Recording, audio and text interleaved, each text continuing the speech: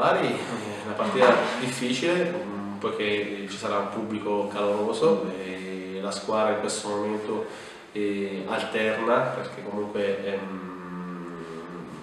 la settimana scorsa ha vinto 4-0 con il Frosinone e adesso viene da una, da una sconfitta. È chiaro che è una squadra che l'ultima partita ha utilizzato il 3-5-2 ma con le precedenti ha giocato un 3-4-2-1, un 3-4-3 però eh, pensare di, che, che, andiamo a Bari a fare una, una sgambata è, è, è, è, impensabile, è chiaro che eh, abbiamo una squadra di fronte, una squadra forte che è un po' in difficoltà, ma ripeto sta sempre a noi comunque far sì che, che, questa squadra rimanga in difficoltà, ma sicuramente non sarà un impegno facile, anzi. Io penso che questa partita non sia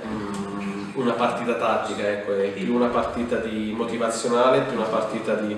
di, di determinazione e più una partita di, di tener botta perché comunque è una squadra che partirà forte perché comunque tanto il pubblico vorrà fare sua la partita e comunque un ambiente non facile perché comunque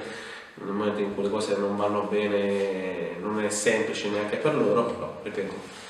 è una partita più sarà una partita intensa sarà una partita di bisogna stare concentrati attenti non cadere errori non andare dietro né al pubblico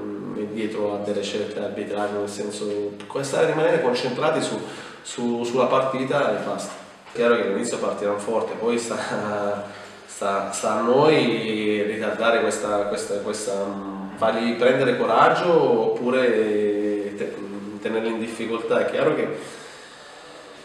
mi viene in mente la partita di Frosinone che nonostante siamo passati in vantaggio il pubblico ha continuato comunque a, a tifare la squadra. E posso pensare che a parte i meriti dei, dei ragazzi della squadra, della squadra, a volte il pubblico si fa sentire ed è importante, ecco, quindi ripeto, sta a noi, noi dobbiamo far sì che mh, lasciare da perdere tutto, cioè, analizzare, guardare un po' lo stato sì, quando si entra, è stato bellissimo, un pubblico delle grandi occasioni, però ripeto, nel momento in cui inizia il fischio, il fischio d'inizio dobbiamo pensare solo a fare quello che abbiamo fatto fino adesso con maggiore determinazione perché comunque, ripeto, di fronte avremo una squadra che,